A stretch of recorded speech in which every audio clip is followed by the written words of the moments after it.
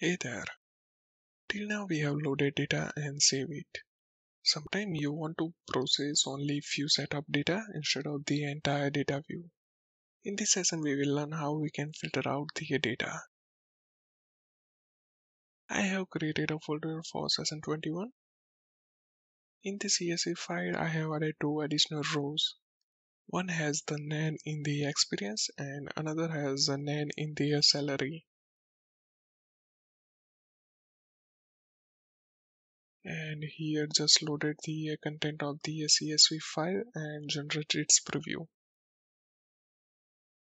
Let's start with the uh, shuffling. Sometimes data in the training dataset are sorted.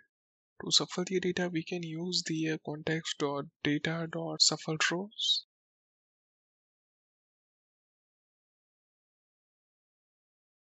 Generate preview after the shuffling. Let's put the debugger before shuffling. Open the program.cs file. Execute the SSN21 demo. Save all the files and run the project.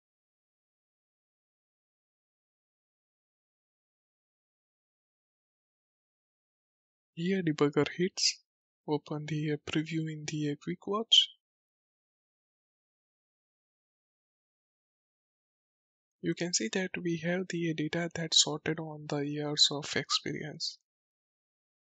It. Open the preview again. Now you can see that the data is not in the same order.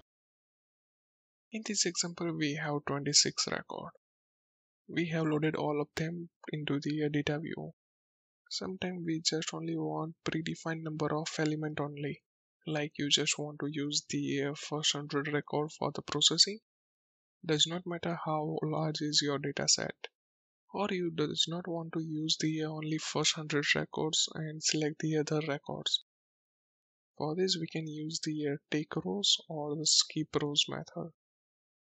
Let us want to skip the first 8 rows and process the further rest of data for this call the uh, context.data.skip rows and pass data view and uh, it generate preview. In the another example we want to just obtain those first eight rows. For this call the uh, context.data.take rows and pass the data view and it generate preview. Save all the files and run the project.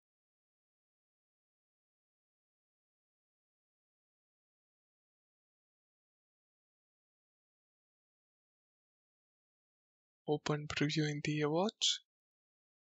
Here you can see that it contains the 18 records. The first 8 records are skipped continue it and here it includes just 8 record as we have mentioned. Here we have filter out data based on its index but mostly we need to filter it based on the value it has.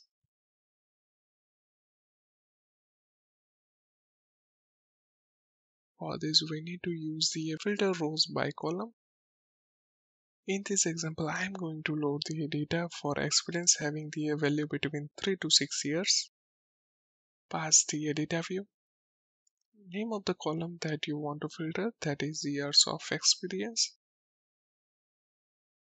Lower bound will be a 3 and upper bound will be 6. generate preview save the file and run the project.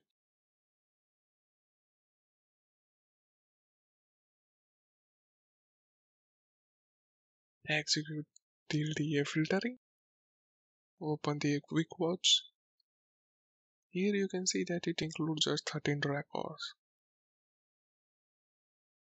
As I said previously our data contains the NaN value which is known as the missing data. Usually we need to skip the data having the missing value. For example, we do not have the salary amount, but we have the values for the years of experience, and vice versa. This becomes useless because in the our example we need both value. For example, if we do not have the salary amount but have the values for the years of experience, and vice versa, this becomes the useless for us because in the our example we need both values. ML.NET provide a method to filtering out the data with the missing value. For this, we need to use the filter rows by missing values and pass the uh, data view and name of the column for which you are checking the uh, missing value. Here I am going to remove the record having missing value in the salary. Generate preview. Save the files and run the project.